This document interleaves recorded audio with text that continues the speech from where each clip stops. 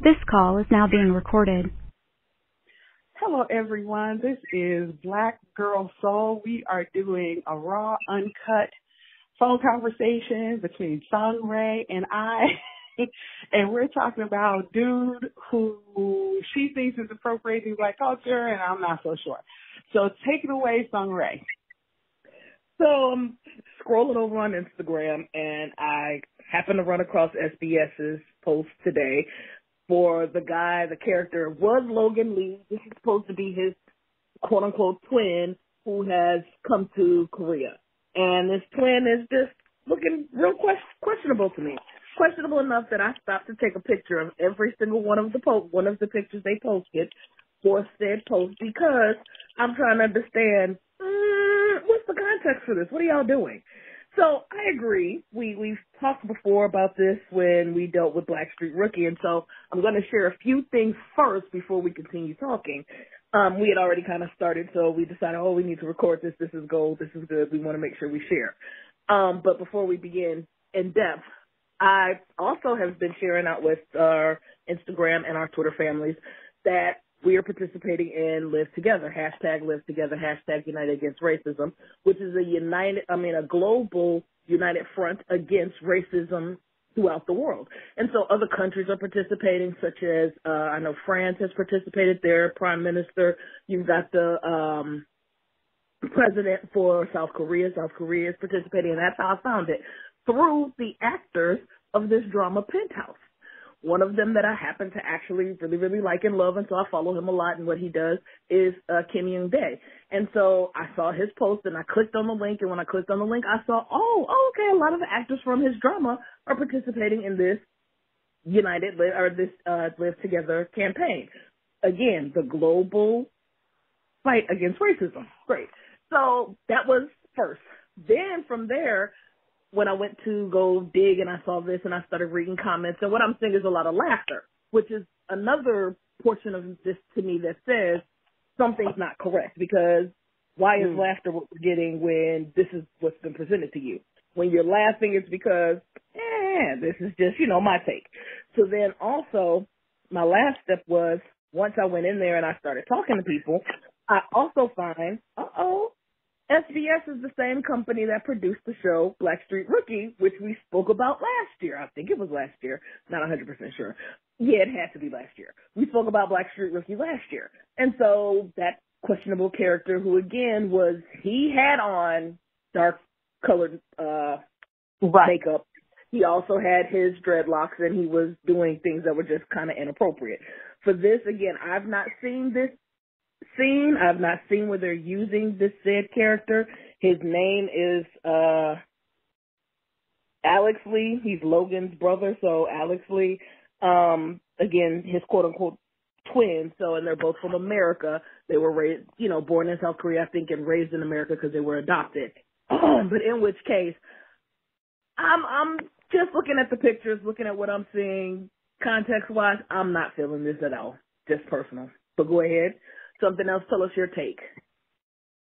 Okay, so it's it's not that I it's it's that I moved into those spaces of being like straight up insulted and pissed off. Like I try to move into those spaces carefully because um not because I'm I'm worried about the angry black woman, you know, stereotype. I don't give a damn. I am angry. Damn it. It's that oh it's that I just I there's so much emotional energy, and sometimes it's, it's all you have in reserve to just deal with American racism. So I'm like, okay, let me look at this. So if he were not wearing the clothes he he was wearing, even, and he just had locks, I'd just be like, okay, another person with locks. Like, you know, I don't think locks in and of itself is you know, I think it's popularized by Rastafarians and by black folks, but I don't think it's like the do or die, like, oh, how dare he. Um, even the animal print, I'm like, okay, I've seen where they try to make animal prints African and it's selling something, right? And I understand that he's, you know, tatted up and he has jewelry on and stuff. And that to me speaks to rap culture um, maybe a little bit more than just plain out black culture. Because I don't see like black men on the regular walking around with 500. Like they just don't rock like that, like in real life. Uh, so when I look at him, is he over the top? Yes. Are they trying to make make him countercultural in some way? Yes. But I don't necessarily know if he's supposed to be representing black. You know what I'm saying? Like there's a difference. Someone who looks countercultural and doing all this stuff. Now, and that's why I said I think Yo, this my sucker Twitter even comment. got a grill in his mouth. Oh God. Hmm? Go ahead. Sorry. I'm looking at another. I told you I sent you a few pictures, all of them that they had. He has a grill in his mouth as well. Right. And so to me, it's like, um, is that okay? That grill that's like super over the top too. But but what I was saying, but what I was saying was before the grill was that you know I don't necessarily I, I need to see how he moves and how he speaks to understand if he's trying to like do some kind of like racist caricature because I also think that there's this place where he may be like I don't I don't think that rap is automatically synonymous with black. I think that rap music came from black culture, but there's Yeah. so many elements to rapness that are not black. You know what I'm saying? Like, so I'm like, maybe he's representing rap, but he's not rap culture in some way. Or I, I don't even want to say hip hop culture. Like, I don't even want to give him that because hip hop culture is more than rap. I'm, I'm, I'm specifically talking about almost like commercialized, commercialized rap. I want to say, okay, maybe he's representing that because he reminds me of that Tech Nine kid. Oh yes, Mm-hmm. Ray rightly said people have accused him of appropriation. It is super real. But he's also like super clown to me. Like he doesn't represent black to me.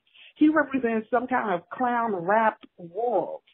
And so that's what this guy makes me think of. He makes me think of, you know, just it, it's definitely a costume, right? but I don't know if it's a black costume. I have never watched season three. Don't know what's going on with that. I have watched portions of season two, and I watched season one in its in its entirety. From me watching season one in its entirety, the portions of season two because I didn't finish it, and none of season three. I'm also going to just go ahead, which is why I said I was sending you all the pictures because I want us to not just take that one that I posted on Twitter as our, and I didn't post, but I reposted, but as our parameters because I'm digging even deeper because there's layers to this shit. Um, I looked in the background there. One of the people walking behind him, I'm not sure if that's his bodyguard, a bodyguard. Oh no, again, haven't seen this scene, don't know. The black man in one of these pictures with the cornrows going back. Then if you look on another one, you've got another black man with uh box haircut, a fade, box fade, off to the side. Um, I don't recall seeing black people in this show prior to this. Now, Oh. if they existed, I would love for someone to call me out and tell me this. But prior to me seeing these pictures, I hadn't seen black people in the show. So again, Right. like I said, I'm my my angst and my yeah SBS, you finna get this finger work because I'm finna go text me a real hot email in a few minutes. I'm agitated because what the fuck is wrong with you all that you keep thinking it's okay when people have told you it's not and you keep presenting these types of things. Yes, I'm aware there's probably different uh directors. I don't know because again, I didn't do that much research. I literally just saw these at it's in my world right now. It is 11:44. I saw them at 11:10, so I have not had a chance to do all of my due diligence, dig, research, and you know see stuff. But what I do want to say and what I'm wondering is, both of these productions, Black Backstreet Rookie and this came from SBS, and so yes, I know there's probably different directors, different writers, but I'm kind of trying to understand. And now it's a thing to me. This is a thing because this is the same type of material coming from the same production company. So what the hell is going on? Well, no, I mean I agree with you. I think that someone is someone is approving this stuff before it goes out. And this is what I'm going to say, and I, I'm pulling out my ear, out of my ass, whatever. But I also might wonder if they did it on purpose because Backstreet Rookie, for all the bad press, it got a lot of attention. Where it would have just been your standard old pedophilic drama. it was had it had an extra accent of racism, and that got it attention. You know, it would have faded into the woodwork for all intents and purposes. I, I I didn't get anything from the story that was just like you know, like if she had been of age or he had been younger, it would have been forgettable. So I wonder if they did this on purpose. But yeah, I, I always talk about the strength of, you know, how various images are used to sell, you know, danger and countercultural. Like in the 80s, I think before hip hop maybe, or before hip hop was um popularized across the world and it was just more than like something that blacks and Latinos listened to and engaged in, um, he would have looked like a rocker. They would have, if they were putting out the same thing and they needed to have a edgy look, the edgy look would have been somebody with long hair who had on makeup. He would have looked like one of those white rocker folks.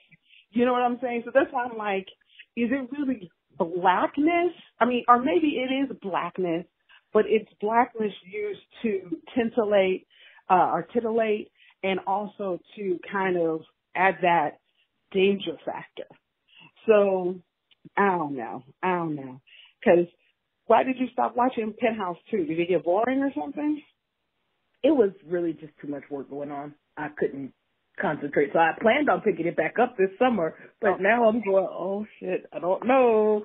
I'm like, I'm saying I'm going to go try to find, I'm not sure if this production has come out today or if it is they're giving you the pre-work to get ready for what's coming because I don't know when it airs or none of that. I haven't been watching. I've been on another kick. Um, I'm trying to catch but the up fact with. that it even has pictures out. Yeah, I mean, here's the thing. No, the no, fact no. that they So even have pictures out. Hmm? Go ahead. I was saying the fact that they even have pictures out of this particular image, him in particular, this is them like using using it. Think about Yeah. it. If he was just coming out looking like new, you know, new guy in town and he looked regular, is that worth taking a picture of? No. They know what they're doing. Yeah. They know what they're doing. This this not on accident. It's not them being confused. It's them using black imagery, maybe not even black, maybe rap imagery, whatever, to make him look dangerous. You know, like the grills put it over the top for me. I I I know y'all would think that the animal print would be the thing that put it over for me, but but you know they wanted him to be outland outlandish. You know, and and we have unfortunately, um, and I'm not putting all the blame on like black folks or or, or Yeah. hip hop or or rap culture, but you know, there's an image that uh, American society sells. Let's put it that way. And some people are more complicit than others in selling that image. Yeah. Um, and then it turns into something that is horribly um, manipulated by other races of people. And I'm not saying it to say that they have they get a pass.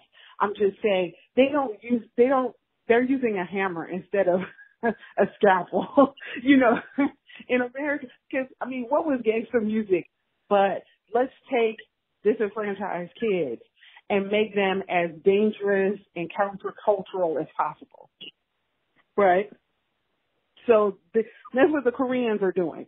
They're they're finding the most countercultural image they can find, and they're they're placing this character in that role so he can show up and disrupt. I hear you. I hear you. I hear you. Mm-hmm. I mean, I'm not saying it because I'm I'm not I'm not invalidating what you're suggesting. I'm just No, saying I, I walk you to it slowly. You you ready to go and and like tear down some walls and kick in some Yes. doors. I'm like, Yes. can you just put on your still still still toe boots boots first? can you can you? You're trying to do it in bare feet. I'm just trying to suggest that maybe you should put on some boots first and and like you said, get more information before you go tearing into these folks. Yes, I'm, I cannot help myself. I'm trying, but this fear has been there for many a year. So you know, Because y'all trust. I saw that first tweet from her, and I was like, oh snap. and then you called me right away. You're like, ah, it's over. These sons of a bitches. Why are they doing this again? I'm like, oh, hold on, Song Rae. Hold on, hold on. I just need you to know I laughed because we were I went over to some friend's house to hang out and while we were hanging out, one of we got to talking about nicknames. One of my nicknames is Black. And so she was like, How did that you can only use that like some places and not others. Oh really? Huh? You can only use that nickname in some places and not others. I know, right? And so I was like, It's my brother, he calls me that because he says I was too pro black. So he's You were what? calling me black. Too pro black. Like I'm all about uplifting black people, black stuff. Oh. Like so, he he used to call me black because and he would put his power fist up. Hey, what's up, black? And I'm like, okay, you know what? You're not funny. Yo, it is true. Because he knew you. Because he knew you in high school. I knew you in high school. You were Exactly. super black in high school. I think So, for a yeah, second you were I- about to join the nation or something. Yes. yes. And that's why I'm laughing because I was like, this spirit has been alive in me for quite some time. So yes, I don't like it when I see it when it pops back up or when I feel like, oh, they trying to go there. Yeah, I'm ready to fight. Listen, this chick, all she all she needs is the uh the Fight the Power soundtrack, and it's on and popping. it's like all she needs is some Chuck D in the background going, "Go sister, go, go sister, go." Basically, for me, I think the sadder, the the thing that I really want to do is inquire because I'm also someone who's inquisitive. While I'm over here with my black fists in the air, ready to fight, but as as something else is saying, I need to go get my Tim's on first, my steel toes. Um, but I would also like to know people's perspective. So trying to understand is also a place that I believe is where a lot of us go wrong is that we get in these spaces, we feel a certain thing, but we don't try to understand people. I would like to understand. So like I told you, like a bunch of the comments under the SBS post on Instagram were laughter. Why are we laughing? I'm trying to figure out what, I guess, is it funny because you just took it as a comic relief or like help me understand because I don't believe that anyone's intention is truly to be malicious, you know, mal- maleficent. Malicious? Say that word. Huh? Malicious? No, it's it's another maleficence. It's a F in the word, but I'll I'll come back to that because I always screw this word up. But malicious works here. I don't think anyone's intention is ever to be truly malicious, but I do think it's inter- important and interesting to discuss and talk about why we have certain feelings towards images when they're presented. So why is my feeling immediately, oh my gosh? Why is your feeling, hmm, I wonder what they meant by that? Why is someone else's feeling laughter? Why is someone else's feeling, okay, look at them trying to be spicy? You know, like we, we all come from different places and different ideas. So like understanding where are people's perspectives on this. So listeners, we'd like to hear from you. I would love to know what are your thoughts on if you've watched the show, if you've been exposed to the show in any manner, even if you haven't, just upon seeing the images, what are your thoughts? Okay. Well, we'll hear from them. Hopefully, fingers and toes crossed, eyes too. This is how we really converse, you guys. Like we try to clean it up just a little bit when we do our regular reporting, but we're also going to start doing more phone conversations because this is how we talk. This is how we really talk. Um, this is Black Girl Seoul phone conversation. Have a good one. Bye.